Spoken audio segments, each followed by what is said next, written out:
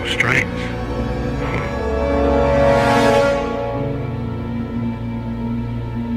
There's that little creep. Now where the hell did he